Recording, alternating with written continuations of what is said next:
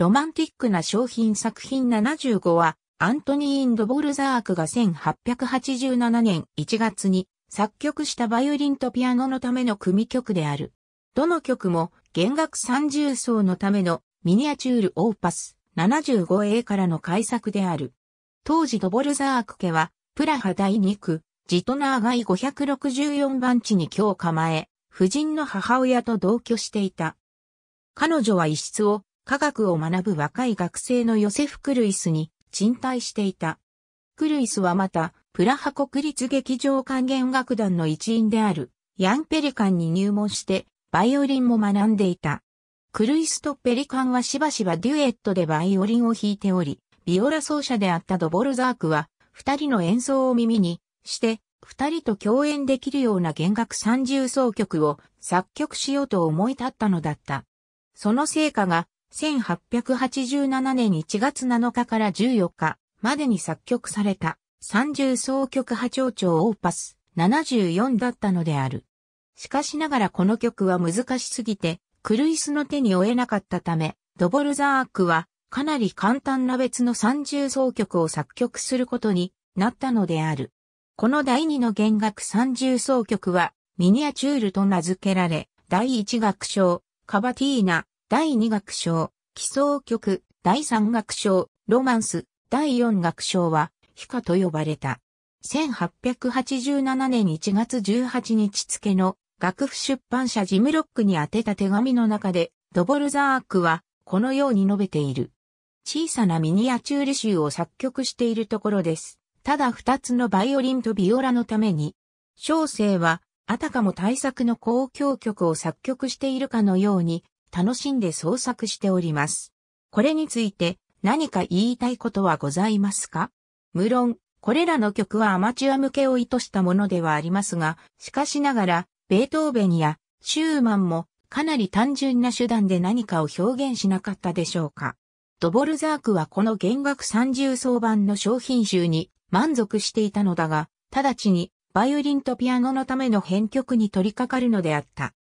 この新しい版をドボルザークはロマンティックな商品集作品75と呼び、作曲年代は実質譜の終わりに1887年1月25日と記入している。4つのロマンティックな商品は1887年にベルリンの出版社ジムロックより出版された。ドボルザークは後に三重奏版の存在をすっかり忘れてしまい、1901年にジムロックに三重奏と前提されている曲がロマンティックな商品であるはずありませんと釈明している。ドボルザークの自筆の三重奏版の譜面は1938年になって再発見され、ドボルザーク自身が勘違いをしていたことが証明された。初行である三重奏曲のミニアチュールが出版されたのは、ようやく1945年、チェコの出版社によってであった。ロマンティックな商品の初演は、1887年3月30日に、プラハノにおいて、作曲者自身のピアノ伴奏と、国立劇場管弦楽団のコンサートマスターであった、カレル・オンドジーチェクのバイオリン独奏によって行われた。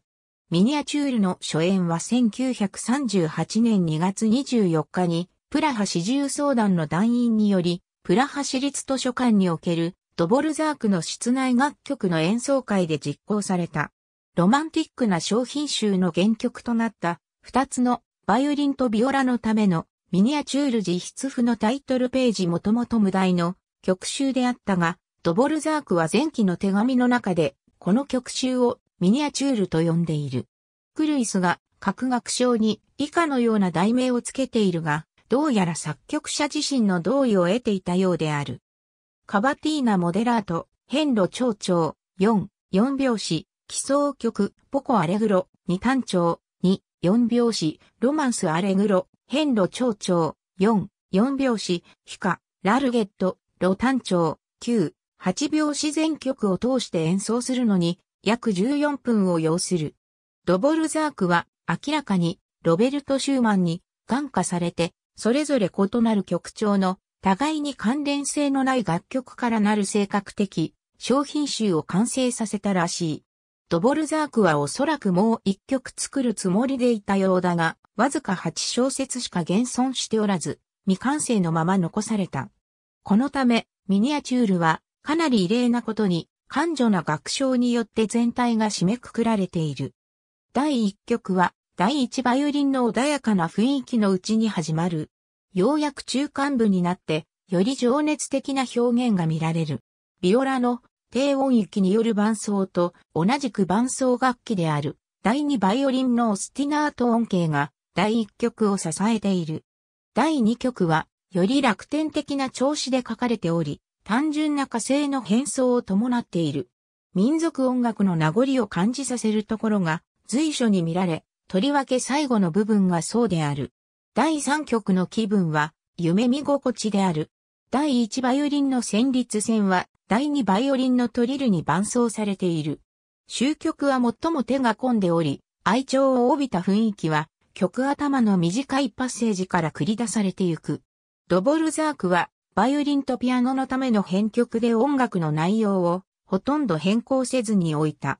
第1曲においてほんの少し和音の最低音を変えたことや第3曲の曲末に4小節を付け足してやや長くしたといった程度である。ただし、第2曲と第3曲については、発想記号が変えられているのが注意を引く。アレグロモデラート、変路長調、4、4拍子、アレグロマエストーソ、2単調、2、4拍子、アレグロアパッショナート、変路長調、4、4拍子、ラルゲット、ト単調、9、8拍子。ありがとうございます。